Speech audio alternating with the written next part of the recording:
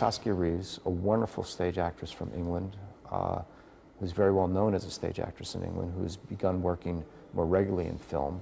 Jessica Atreides is uh, the bound concubine of the Duke, Leto Atreides. She's the mother of Paul. She's um,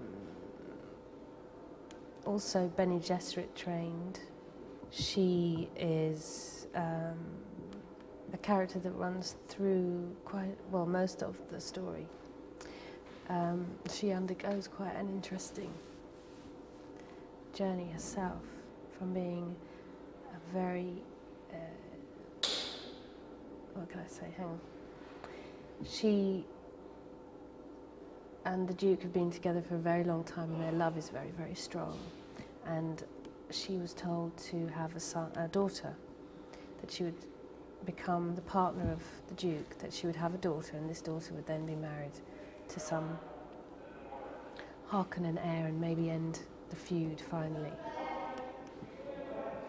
She decided to go against this training, this generations of work that's gone into planning this moment. She had a son instead because she loved the Duke so much and he wanted a son.